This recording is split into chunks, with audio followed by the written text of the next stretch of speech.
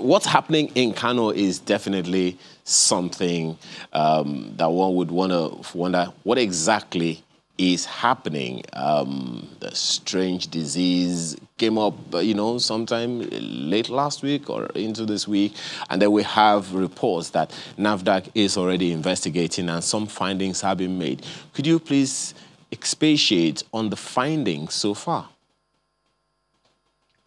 Well, uh, good morning. It's good to be here. Uh, this is a case of the Kano incident is a case of food poisoning with uh, juice or, chem- or flavored drinks uh, uh, that has a, a, chemical called dansami. Uh, and we are looking at this. It is very, very serious because uh, uh, the, food the food poisoning resulted in diarrhea, vomiting, and you know hospitalization.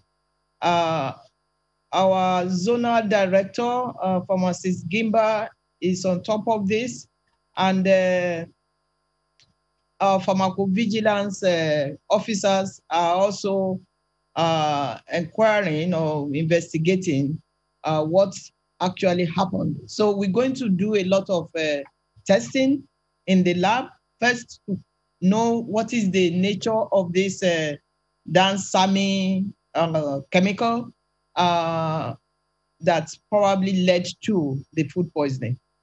Well, one wonders, I mean, what the origin of that would be in the first place, and the fact that, according to what we have on the front page of one of the uh, papers this morning, uh, it's an investment running into millions that some people made.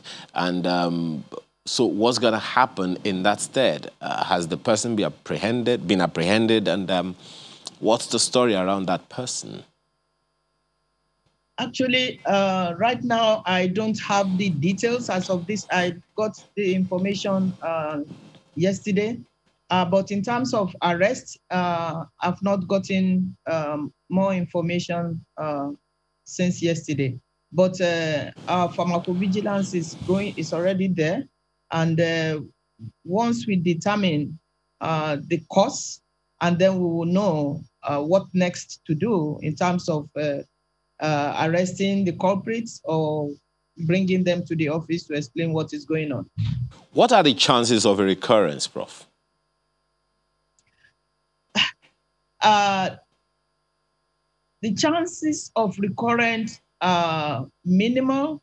Uh, however, I'm going to qualify that because we don't even know whether uh, this chemical uh, is smuggled or even the, the flavored drink uh, manufacturing is not approved by NAFDAC.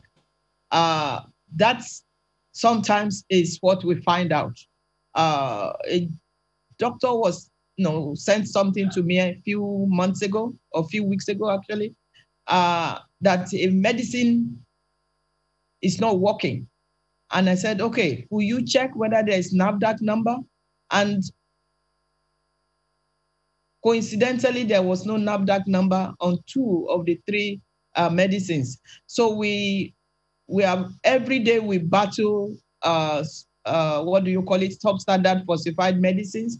We have porous walls. Uh, I said porous walls, porous borders. Sorry, uh, and uh, we we work every day. That is part of our core regulatory activities, running and looking after, uh, running after uh, smuggled uh, goods, smuggled drugs uh, that are substandard, sometimes counterfeited. Uh, so we just have to find out exactly whether this particular flavored drink uh, was approved by NAFDAC. And if they approved by NAFDAC, what was causing uh, the food poisoning. And it may be source of water because sachet, sachet water is also associated with this. Uh, we have apprehended, we have shut down many companies, water companies, because of the uh, unsanitary uh, conditions that they, you know, they have at their sites. Uh, many times we approve uh, a site and they give us, you know, they show the day of inspection, they show the best. Uh, sometimes they will go and rent equipment that we know we will pass, or, the, or equipment that will pass rather. And uh, after we leave, they return the equipment, uh, put people that are not as qualified uh, back uh, to the site. So the work of NAFDAC is a daily, round the clock, 24 7 uh, vigilance. And what we also ask the citizens to do is to please work with us. So please work with us, call us, uh, so that we can easily go and follow up on this. We have offices in 36 plus one FCT states in the country. Uh, and uh, our staff go around, you know, as for their regular uh, duties.